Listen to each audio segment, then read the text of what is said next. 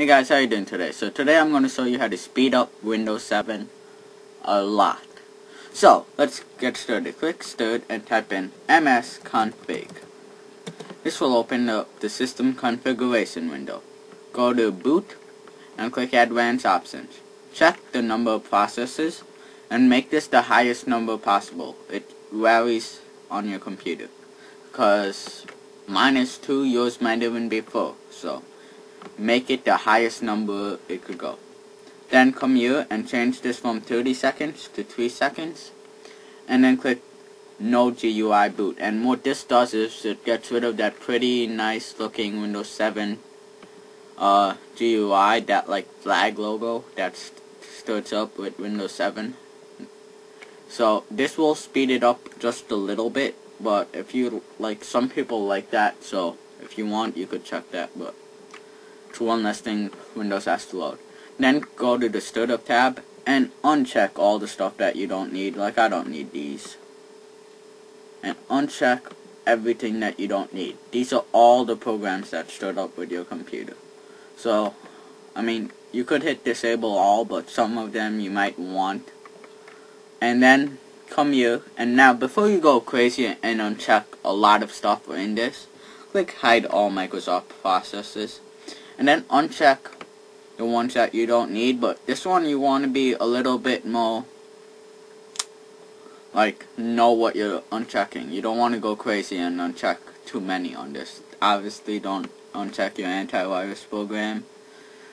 And then when you're done just hit OK. It will actually restart. Click restart later and restart after this video is over.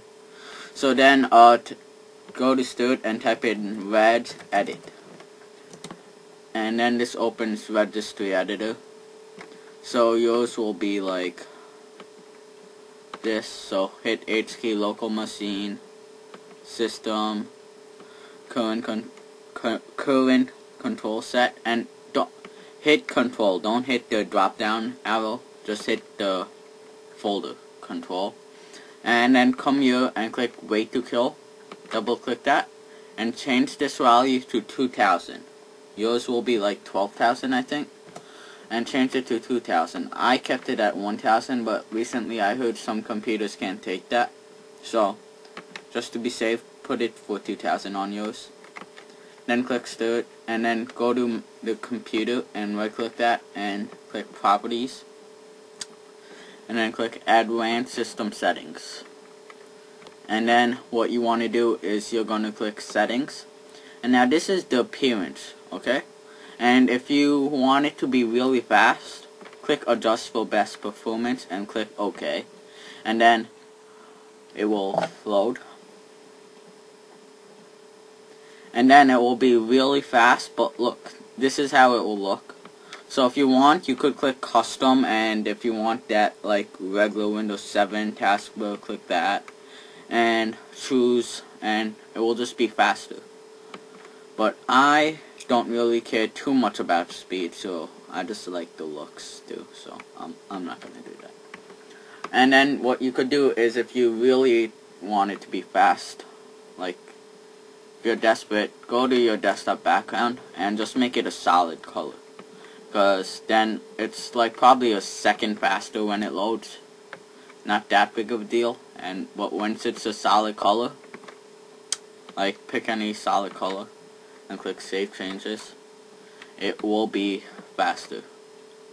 And uh you could click sound and click none.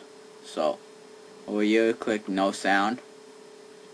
And I'm not gonna do that. And if you want no screensaver so then, let's say if my computer doesn't have an, enough RAM, also what I could do is if I have a flash drive, I could right click that flash drive, click properties, and to the ready to boost tab, click use this device, but uh, for RAM, and then pick the amount of memory you want to use for from this device, and then click OK. And you could use a flash drive as extra RAM space. But then you don't want to like just pull the flash drive out. That's extremely bad. So when you want to done with it, when you want to remove the flash drive, you're going to go to this, click do not use this device, and then, as usual, right click and click eject. Right here. Okay? So now what we want to do is the temporary files. So you're going to click disk cleanup, search for disk cleanup, or you could go to stored all programs and accessories. And then go to somewhere here system tools disk cleanup okay so then it will give all the temporary files and then check all the ones and delete them because you don't need them. So click OK and it will delete these files. And then what you could do is this defragmenter. You should do this once a month.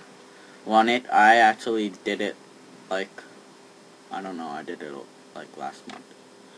So click analyze and defragment. And also when you uninstall a program or sometimes, sometimes it leaves stuff behind in the registry. So you could go to the CCleaner website and you want to download that. And then you could open CCleaner and then click Analyze and Run. And this will speed it up. And also go to the registry and it will scan for like missing registry stuff. And it will speed your computer up in your registry. Also, you could go to control panel and click programs. And if you want, you could un uninstall all the programs that you don't need. But what we're going to do is turn on and off Windows features. So it will generate a list of all the Windows features. So this is it. So uncheck the ones that you don't use. Like no one plays the games. And uncheck all the Windows features that you don't really use, like uh, Windows gadgets platforms. I mean, do you guys really use that anymore? So, I mean, uncheck the ones that you don't need. Click OK, and then, uh, and lastly, uh, I should have done this before. Uh, right click, click personalize, click Windows color, and click uncheck the enable transparency. So now this won't be transparent, but it will save you like a second. And yeah, that's pretty much it. Speed up Windows 7.